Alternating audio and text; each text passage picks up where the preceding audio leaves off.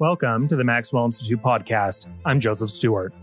Andrew Jenson undertook a lifelong quest to render the LDS historical record complete and comprehensive. An assistant church historian of the Church of Jesus Christ of Latter day Saints, Jenson tirelessly carried out his office's archival mission and advocated for fixed record keeping to become a duty for Latter day Saints. Reid L. Neilson and Scott D. Marianno offer a new in depth study of Jenson's long life and career in Restless Pilgrim Andrew Jenson's Quest for Latter day Saint History from the University of Illinois Press. Their account follows Jenson from his arrival as a Danish immigrant to 1860s Utah through trips around the world to secure documents from far flung missions, and on to his public life as a newspaper columnist and interpreter of Latter day Saint history. Throughout, Jenson emerges as a figure dedicated to the belief that recorded history united past and present Latter day Saints in heaven and on earth and for all eternity. In this interview, you'll hear the voices of Dr. Reid L. Neilson and Scott D. Marianno. In April 2022, Dr. Neilson was appointed as the Assistant Academic Vice President for Religious Scholarly Publications at BYU. He holds a PhD in religious studies with an emphasis in American religious history from the University of North Carolina at Chapel Hill. He earned his bachelor's degree in international relations from BYU and holds graduate degrees in American history and business administration, also from BYU. Scott D. Marianno is a historian and archivist of the Church History Library in Salt Lake City and holds degrees in history from Brigham Young University and Utah State University. Now, without any further ado, let's get to our conversation with Reid and Scott. Welcome, Reid Neilson and Scott Marianno, to the Maxwell Institute podcast. Thanks for having us today. Good to be with you. My first question is How did the two of you come to work on Andrew Jenson, who was an assistant church historian and really one of the great chroniclers of Latter day Saint history.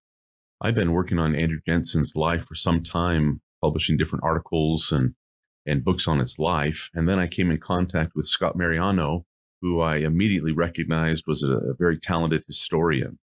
And we began partnering together, and I began to really appreciate his insights, his ability to write, to narrate his story, and I think it just grew from there. I was most impressed with him as he graduated from Utah State University and uh, been blessed by his association ever since. We laid out the biography, at least our initial take on the biography at a Chipotle in Bountiful, which is where good ideas happen. And from there, Andrew Jenson became this dream biographical subject. His corpus of papers are at the Church History Library. He was a daily journal keeper massive amounts of correspondence. And it, it became overwhelming in a sense initially as we look at the scope of his life to decide what do we talk about and what don't we talk about. But the most intriguing aspect of him, I think, is that he transcends some of the trends in Mormon biography in that he is a layperson of sorts. He never is called as a general authority.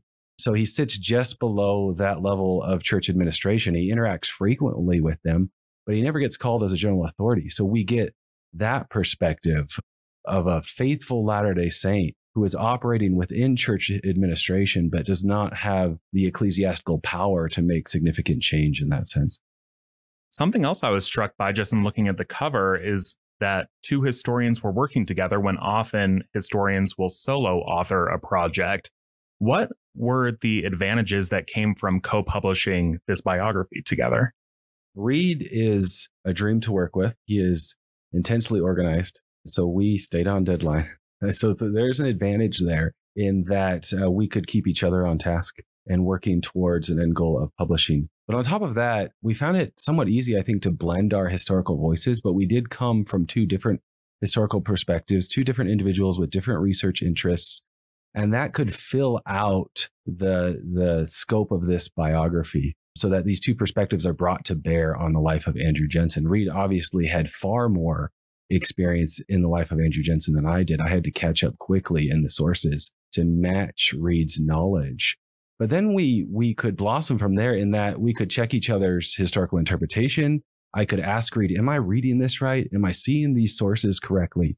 And we could push back on our historical interpretations so that by the time we get a finished product, it reflects the best of our work. And so it was great to instantly have that peer review process in ways that you don't get if you're writing solo. Something that was really beneficial for me working with Scott is that he had the time to really delve deeply into the primary sources.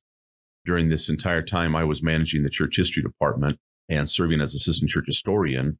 Andrew Jenson's counterpart decades later. But my time was assumed with lots of meetings and administrative tasks and things like that.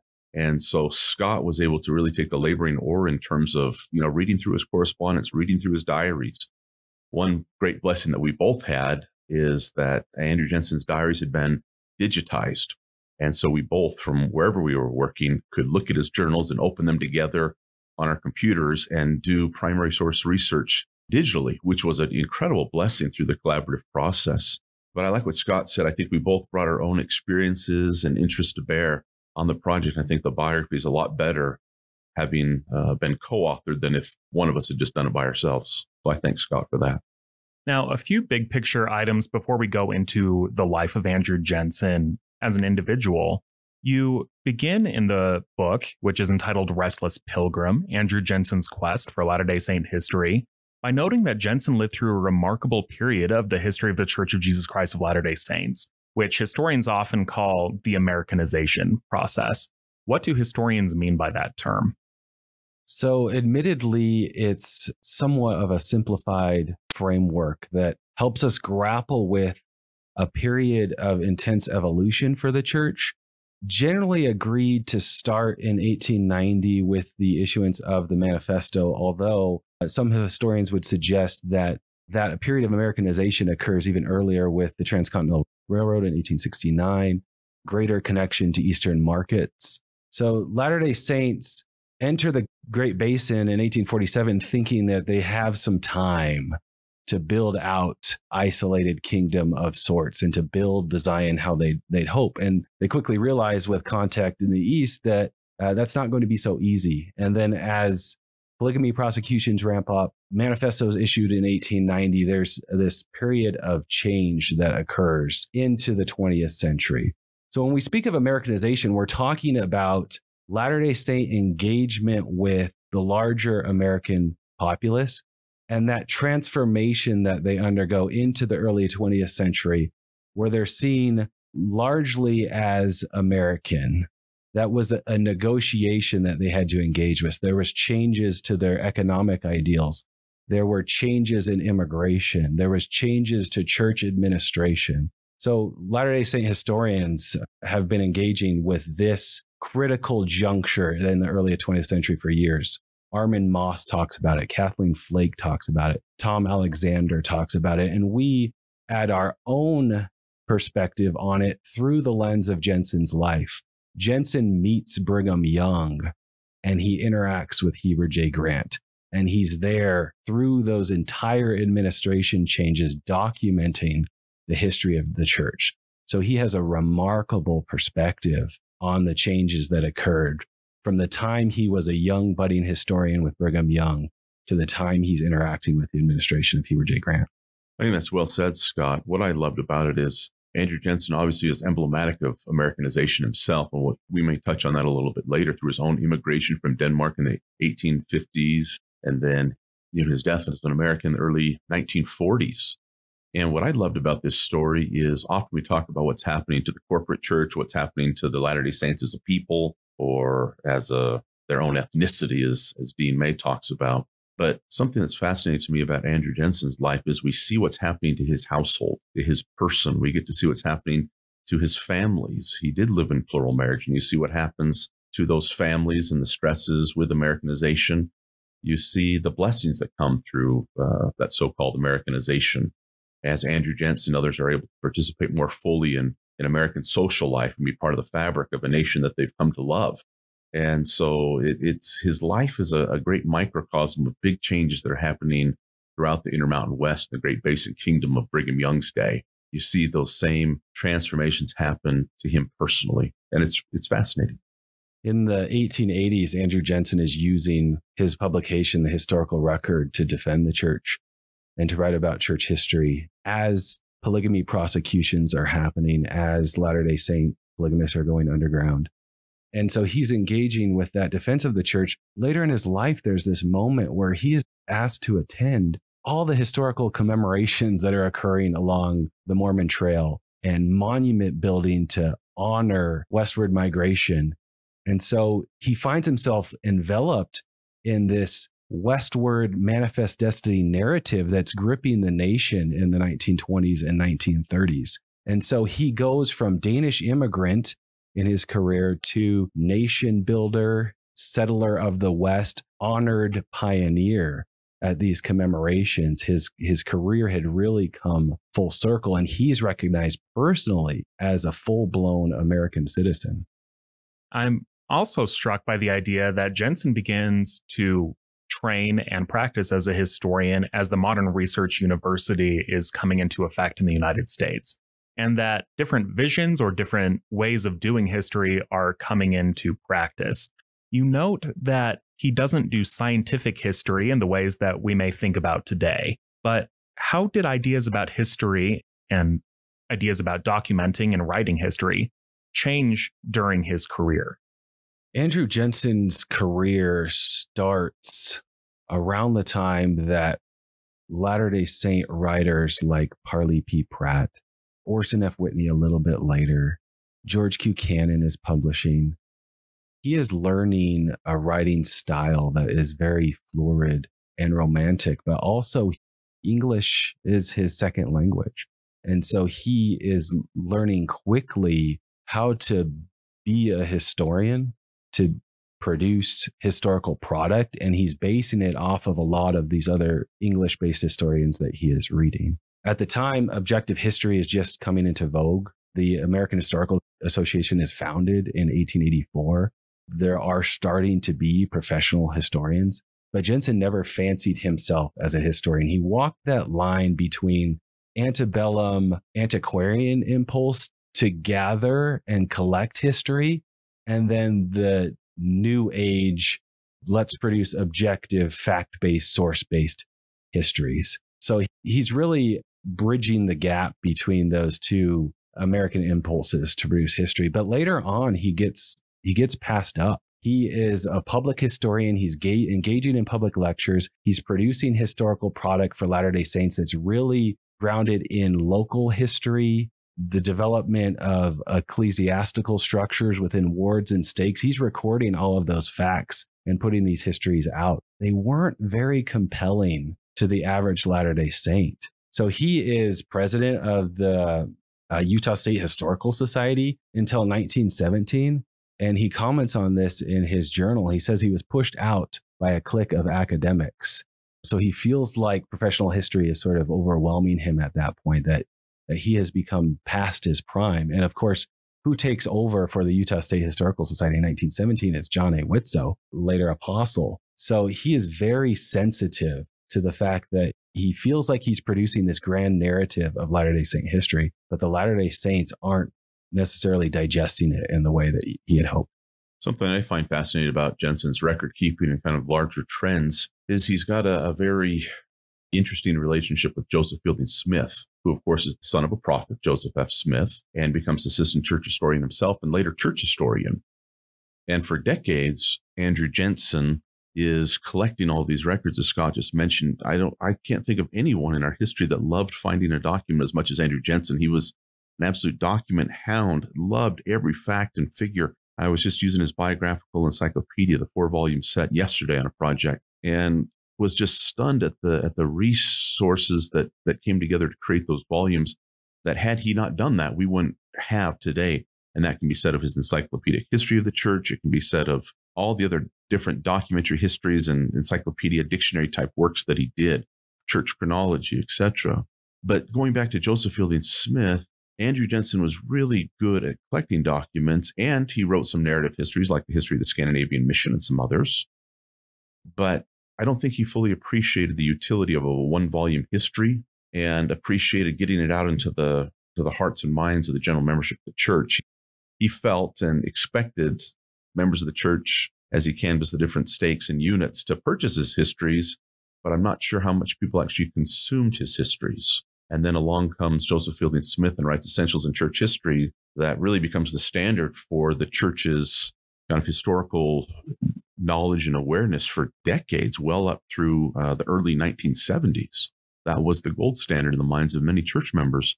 And I think that was frustrating to Andrew Jenson because he, I think, appreciated that that wasn't what he was interested in. And maybe he didn't have those same strengths or capabilities. I think he was more interested in the archive versus translating that for the masses. So he was both part of and, and apart from other trends that were swirling around him, both in and out of the church.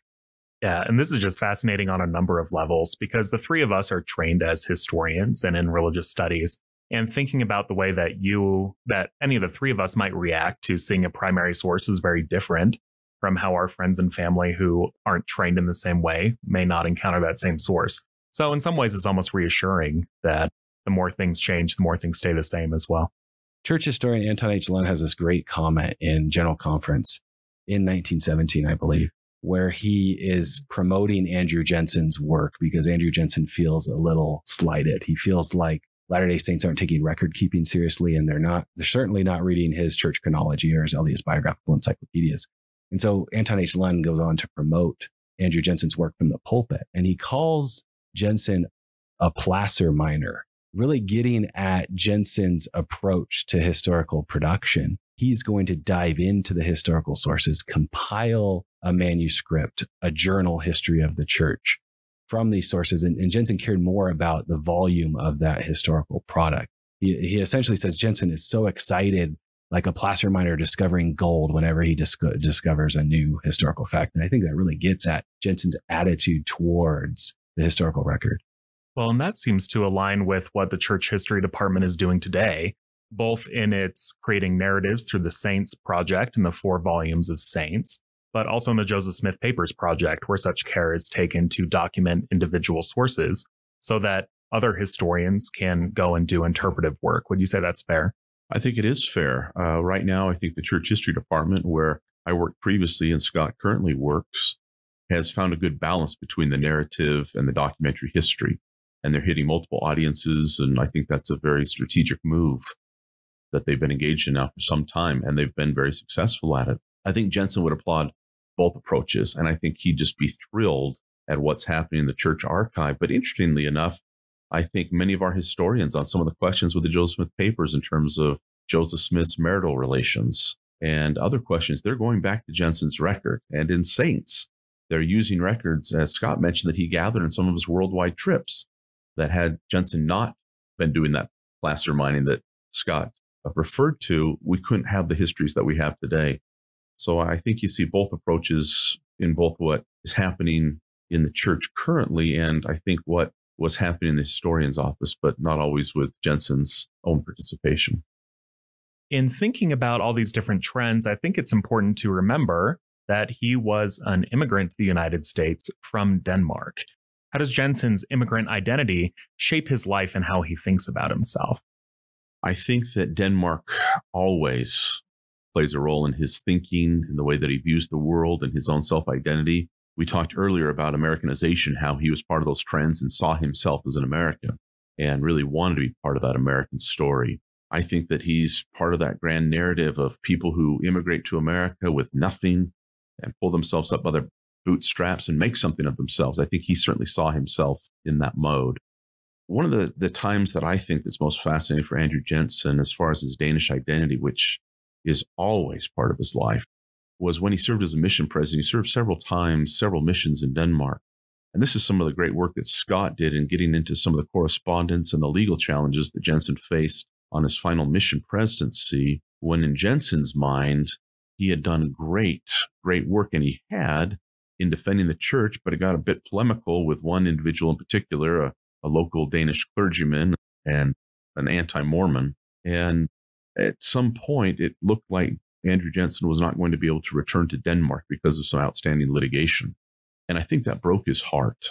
This idea that he had been rejected by his own nation, that he had come back to help redeem as a missionary. And then a few years later, there's this great story, one of the concluding stories of our book, when Andrew Jenson is sent on behalf of the, the church in the state of Utah to represent the, the best of Danish immigration to America and is there to help uh, do a dedication of a national park there with a wagon from Utah and what have you. But he writes in his historical record what it was like to be beloved by his Danish people again and to be accepted at the highest levels of Danish society as a representation of the Latter day Saint immigration to America.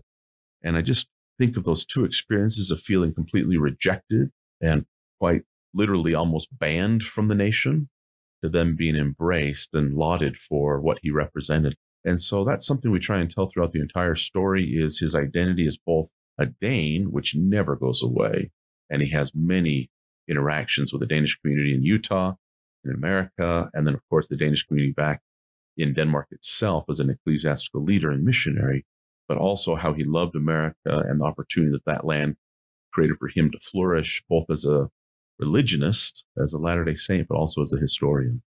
Immigration, there was trauma associated with immigration for Latter day Saints in the 19th century. And it wasn't trauma caused by the church, but there was this identity renegotiation that happened, particularly for Danes in Denmark.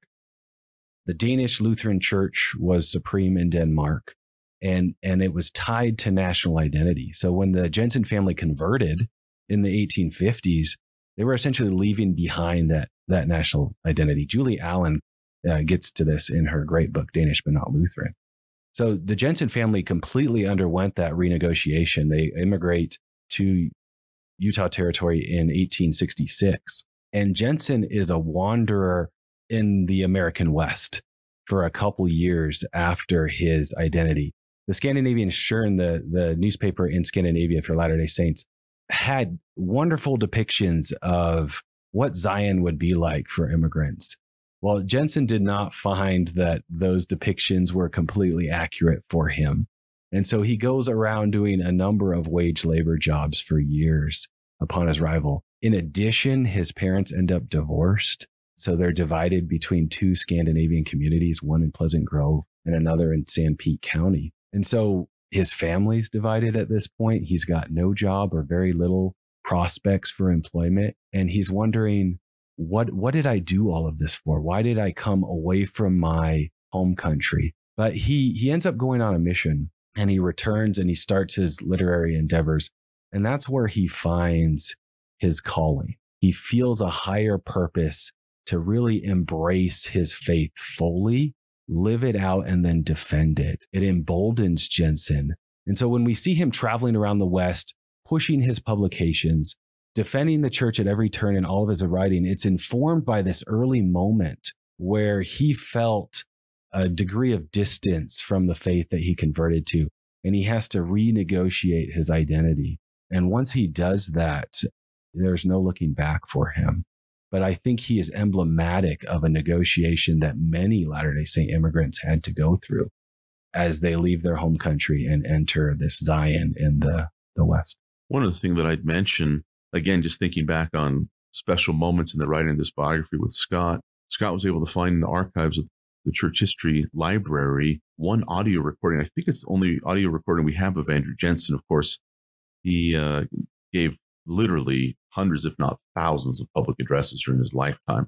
So he was speaking all the time, but we only have in our archive one audio sample from him. And it's towards the very end of his life at a birthday party where he's gathered his children and grandchildren and dear friends. And you hear his uh, Danish accent. And for me, it was really, really sweet because I read everything, it's just English. You know, it, there's no accent in the written English. But when I finally heard his voice for the first and only time, I thought, here's someone who never escaped and probably never wanted to his Danish roots. And uh, what a sweet homeland Denmark was for him. Well, wonderful. And as you mentioned, Scott, Jenson begins as a day laborer. He serves as a missionary and comes back and really starts to hit his stride, attending to intellectual pursuits and to historical pursuits. So, how did he come to work at the church historian's office, and what were those first few years like? It's a long road for Jenson to the historian's office, and I think it's much longer than he had originally hoped. He gets his start publishing a Danish translation of Joseph Smith's history, which he gets the approval from uh, Brigham Young and Apostle Erastus Snow. That's tough work because he's essentially pushing that publication on his own. He's using a su- subscriber based model that was used for other Latter day Saint publications. I think Parley P. Pratt's autobiography was sold in this way. And he gets a lot of pledged subscribers. But as you know, the, the Danish community is not, and, and no Latter day Saint at this point is really flush with cash to purchase literary endeavors like Andrew Jenson is doing. And so he he struggles. He goes into uh, a massive printing debt with the Deseret News. And that continues as he moves from publication to publication. He is eventually told to broaden his audience beyond the Danish community, although because of his immigrant identity, he felt himself a bit of an ambassador to the Scandinavian community, and he continues that role throughout his life. But he starts to publish uh, the historical record, which is a history based publication based off of other things that he's publishing. So he's doing some original historical work. He's also publishing some reminiscences and recollective accounts of Latter day Saints in that publication. And he's looking for subscribers that way. He actually invites the church, and this is a theme throughout his life, to take on the historical record as an official publication of the historian's office. And they say, uh, essentially, thanks, but no thanks. That's your individual endeavor. With that came repeated requests because of the haphazard nature of the finances related to this publishing outfit. He repeatedly asked to enter the historian's office as a historian, and he's re- rebuffed numerous times.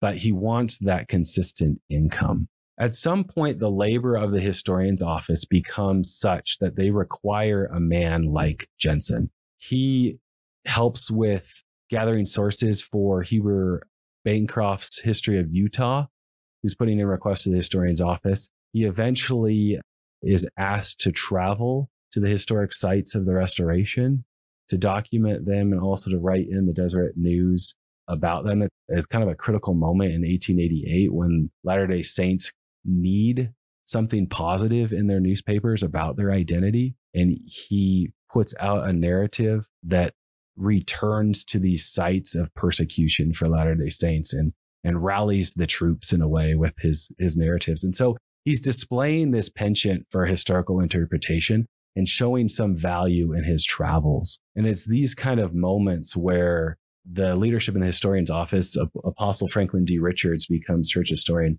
and they start to consider, hey, maybe this Jenson guy could be of value to our enterprise. But it's not until the 1890s, post manifesto, where the records of the church are in complete disarray. The financial records need work. The membership records need work. They had been scattered from the historian's office essentially and put into private hands as the polygamy raids were occurring. And someone had to put those records in order there was hesitation on the part of the administration to take Jenson in, but it was at this moment where they said essentially, we need a man who can travel and we need a man who can gather in records and do the spade work to put our historical house in order. And that's really the impetus for Jenson's attachment to the historian's office. First, he becomes an, what they call an attache in the language, and, and he gets a salary of $100 a month but then he's set apart eventually as a full blown historian in Zion, is what they call him. And he travels to the ward stakes missions of the church and starts doing that work of putting the records in order. I think this is one of my favorite parts of the story. He is so tenacious in his desire to formally align himself with the church and the historical enterprise there. There's this moment early on when he's doing this wage labor and he's absolutely miserable. And he writes in his journals and his autobiography about wanting so desperately to fulfill this higher sense of purpose and calling that he felt that he had. Later in life, in fact, he alluded to the book of Abraham when he talks about these noble and great ones and said, I believe that there were noble and great ones called in premortal life to lead the restoration and lead the different gospel dispensations. And he said, but I also believe that there were those that were called to document their efforts and those dispensations. And he says, I'm, I'm one of them. And so he has a sense of calling, but he doesn't have the sense of opportunity. And it's such a tender story to watch him just continually try everything he possibly can, work every relationship that he has, every skill and ability that he's been given, uh, develop new avenues for publications, start and try it very entrepreneurially, these different journals and, and newspapers, and just anything that he can do to make a living to fulfill this sense of mission there's this great moment where finally, as Scott just alluded to, he's set apart as a historian in Zion. It's almost like we hope the readers feel almost the sense of jubilation with him. It, it meant everything to him that he finally could marry his vocation with his avocation. And from that moment forward, he gave literally everything to uh, formal church record keeping. Wonderful. So Jenson, he finally gets to the church historian's office and he's eventually asked to serve as assistant church historian. And Reid, since you've also served in that role, what does that mean that Jenson was responsible for on a day to day level? And how has that changed over time? Meaning, how was your experience different than Jenson's was? I think for Jenson, being an assistant church historian, it meant uh, permanency and uh, sustained paycheck. And I think he looked at the, the previous cast of characters in the historian's office, beginning with Apostle Wilford Woodruff. He was the first assistant church historian set apart when George A. Smith, who was church historian, had to go east to take care of some church business with the government. And so I think for Jenson, that title brought with it both permanent pay, but also legitimacy. And since Andrew Jenson's time, some of the finest historians of the church have been called as assistant church historians. They're my heroes. You have a B.H. Roberts, Junius Wells, Andrew Jenson himself, and and many others. More more recently, you have Jim Allen, Davis Bitton. These are luminaries in the field, and I've always looked up to these men. I wish we had some women assistant church historians. I remember when I got called as assistant church historian, it was an appointment from the first presidency and Quorum of the Twelve, and it was Elder Jeffrey R. Holland and Elder Quentin Cook that extended that role to me. And it was a, an incredibly poignant moment in my both personal and professional life. And Elder Holland, he said something kind of funny, as he often does. He has such a great wit. He said, Reid, here at the church, we're really good at giving away titles, but not more money. He said, We're kind of like a large bank. And so he said, This is a great title for you, but it doesn't come with a salary increase. And we all laughed. And I remember driving home and my wife asking me about that, thinking what I thought about that. And my response to her at the time was, honey, to be classed among these men that are my heroes, that's cosmic payment enough. And so I, I resonated with Andrew Jenson's sense of what that title means. I think it's a very sacred responsibility. And it was a marvelous many years that I was able to fulfill that responsibility working for the church history department. Now, assistant church historian then meant something probably very different in terms of actual logistics and responsibilities. Andrew Jenson came as an assistant church historian when there were a handful of staff members, a very decrepit old historian's office building with minimal archival best practices in place. I think that the average Latter day Saint would be blown away looking at the beautiful church history library we have now and thinking about the resources and infrastructure that Jenson was working with at the time.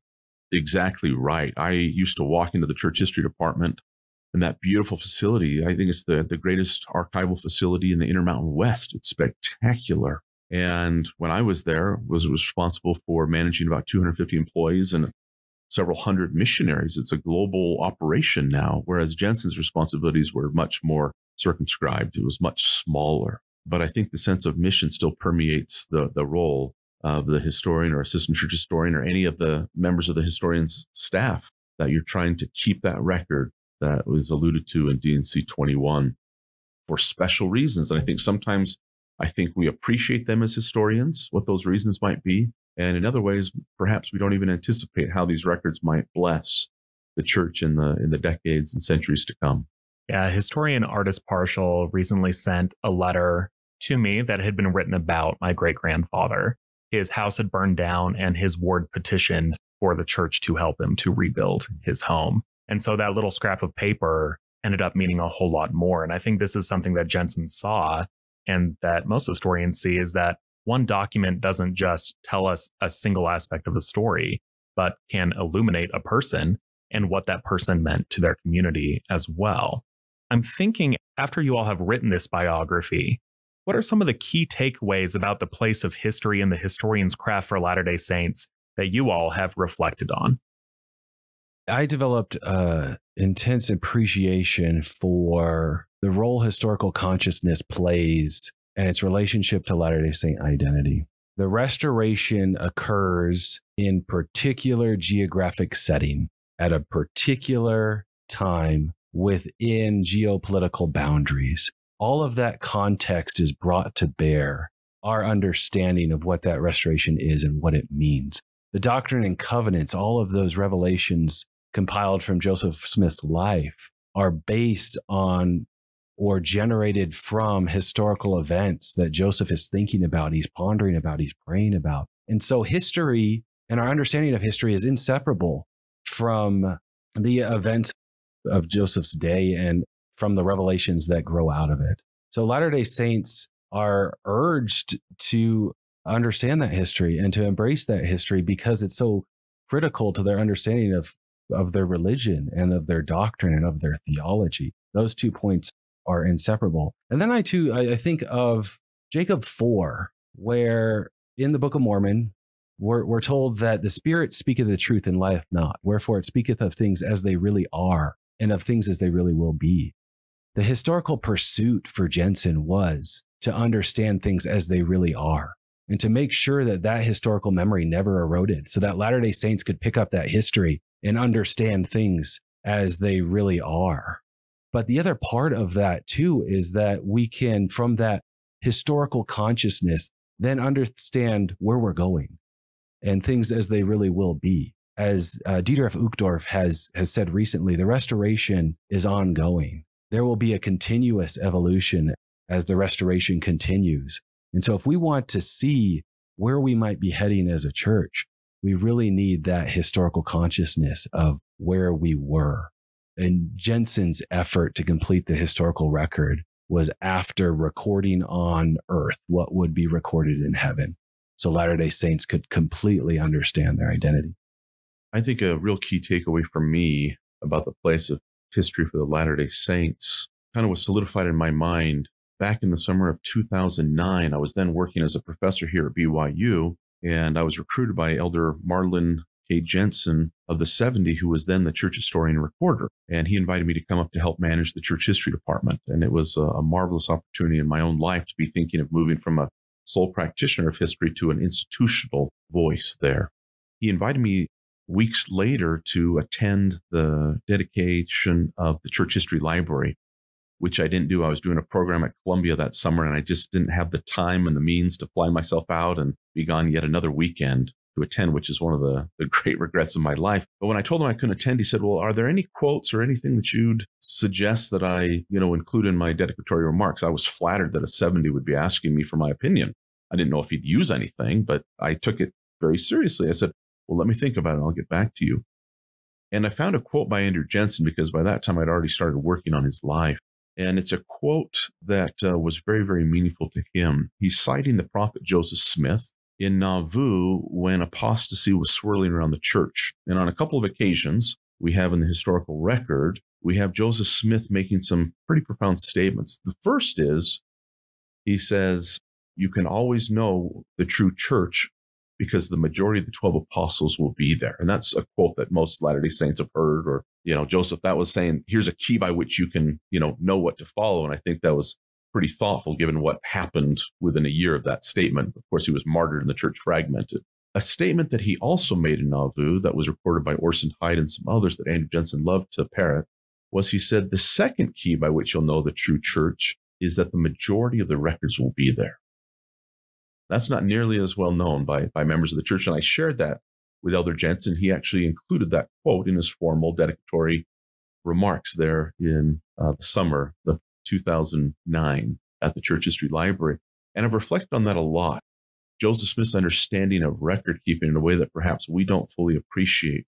And I remember working on the biography of Jenson and thinking of that quote and being surrounded by the treasures of the collection there at the Church History Library and thinking that to Jenson, this wasn't just, oh, I'm really interested in this topic and I'm going to do some research or I'm going to gather biographies or I'm going to write about each ward and stake and unit and all these things. It wasn't him going out because he just wanted to see the world and tell the story. It was a way of adding legitimacy and uh, prophetic imprimatur to the church and to the restoration. I think Jenson wholeheartedly believed that statement by the prophet Joseph Smith that he was adding to our repository of truthfulness by gathering records. And I think for me, the moments that I felt a real connection with Andrew Jenson and as a historian are those times when I really see him doing a sacred work in the vein of Mormon or Moroni, that these ancient prophets, you know, we think of them as prophet historians. I like to think of them as historians, prophets sometimes, but they understood why they were gathering records and why they were telling the stories of their dispensation. And I think Andrew Jenson felt at home with these ancient brethren. And I think he uh, felt the fulfillment of his life's call to be part of that, that gathering, not just for document's sake, but for the legitimacy of the restoration and uh, a sign that God was with his people and his prophets. And that's, that's incredibly meaningful to me. Following the commandment given to Joseph Smith in Doctrine and Covenants 88 regarding seeking out the best books, what are three books that each of you would recommend to our audience? Let me share three that I really like. Two are Latter day Saint related, and one is just a personal favorite of mine. Two of my favorite Latter day Saint history books deal with Utah. The first is by one of my mentors and graduate advisors, the late Ronald Walker. He wrote a book entitled Wayward Saints, the Godbeites and Brigham Young, which traces the story of William Godbe and his associates in the 1870s. And it's, I think, a cautionary tale to appreciate prophetic voice and intellectual endeavors and the proper place of those two. And I think Ron, in talking to him, he really saw the story of, of William Godbe as a tragedy. And of course, the story of Brigham Young as a triumph. And I think there's great lessons to be learned there. Another book is Jared Farmer on Zion's Mount Mormons, Indians, and the American Landscape. I've just started a job here at BYU. And so I past Mount Timpanogos every day, twice, coming and going from Bountiful, where I live. And it's an incredible ethno history of people and places and meaning of what the landscape here in the Utah Valley meant to so many different groups.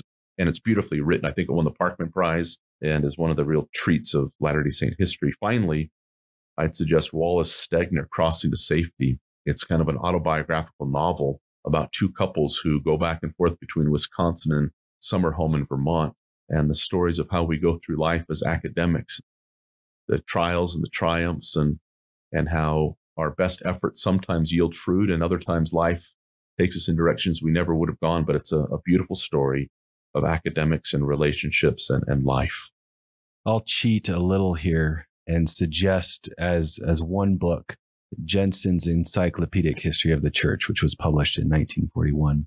And I do that simply because I have come to appreciate what an accomplishment that book was and what it really represents. The fledgling historian's office effort required Jenson mostly out of pocket to travel by steamer, by foot, by rail car. Eventually, he buys his own automobile to travel within the Intermountain West. An immense time and effort and sacrifice to his family to gather minute details on the settlements of the church and its resulting ecclesiastical units, and then later missions of the church on a worldwide tour. This book, published in 1941, the year he dies, is the culmination of all of that effort. And when he's pushing it to the church administration to get official support, James E. Talmage gives his official review and says, This is going to be out of date in a few years. It was a great effort by him, but it's going to be out of date eventually because it's impossible to keep up with the changes of the church at this time. Well, years later, years later, now even genealogists, historians, myself, we find ourselves wandering over to the shelf in a library and pulling Jenson's encyclopedic history of the church, just so we can see this snapshot of time, uh, history on the church's development in this area. So I would say that's book one for me. Another book that I think influenced directly the production of this biography is Grant Wacker's America's Pastor. Billy Graham and the Shaping of a Nation, which he published in 2014 with Harvard. And I say that not because Billy Graham and Andrew Jenson share any similarities, really, but because Grant Wacker's way of thinking about biography, the historical empathy in which he approaches his biographical subjects, and he's discussed this elsewhere. And then the, the themes of his chapters, he essentially looks at the many identities of Billy Graham and, and discusses them chapter to chapter. That directly informed the structure of how we approached Andrew Jenson. And so I just think it's a perfect example of religious biography. And anyone interested in religious biography should pass through that book. And then my my last suggestion is one that's a little more personal to me. I was advised in my graduate school by Philip Barlow, who uh, is still at the Maxwell Institute here. Uh, his book, A Thoughtful Faith Essays on Belief by Mormon Scholars, is one that I've approached a number of times on the issue of grappling with intellectual life and then religious life and how you square those two impulses. And for me, that book suggests that the life of an intellectual is not counter to religious life. Those two worlds can work in tandem and be very enriching. And I know the, the Maxwell Institute, its, its, its mantra is about disciple scholarship. So I found that book immensely enriching for me as I question and interrogate my faith, but then come out more enriched on the other side. Reid Neilson, Scott Marianno, thank you for stopping by the Maxwell Institute podcast. Thank you, Joey. Thank you. And listeners, please stick around. We have audio from Andrew Jenson that we would love you to hear. Have a blessed week. Hi, friends. Just wanted to let you know that this clip has been secured from the LDS Church History Library, thanks to those who helped to make it available. It's an address from Elder Jenson to his family, especially his children and grandchildren. So when you hear him address family members, that's why it's not to the church. It was also recorded when he was 90 years old and quite late in his life. The audio quality suffers a little bit. So please be patient and enjoy this beautiful testimony from a great Latter day Saint, Andrew Jenson. I have endeavored to serve God and keep His commandments and show my posterity by example as well as by precept the road that leads to happiness in this life and salvation and exaltation in the life to come. I have implicit faith in my Redeemer Jesus Christ, the Son of God, and in the divine mission of the prophet Joseph Smith. In all my ups and downs in life, I have stood unshaken on these points. Now, children, grandchildren, and my posterity that I leave in mortality, and those yet unborn that shall follow, will you cherish in your memory that Danish boy who left his native land for the gospel's sake, immigrated to Zion to become the, uh, to remain, to become and remain a true Latter-day Saint, a devoted Christian, and a loyal citizen to the best nation on earth. Borrowing this sentiment from one of our own po- poets, I appeal to you with my heart full of wrath, full of affection, and my eyes filled with tears, and saying, Will you be true to the faith that your parents have cherished? Will you be true to the faith for which martyrs have perished? May God bless you, help you, and enable you to do even better and greater work than I and my wives have done. And with this hope in mind, I, as a servant of God, bearing the holy priesthood, bless you with the Father's blessing in the name of Jesus Christ, my Redeemer. Amen.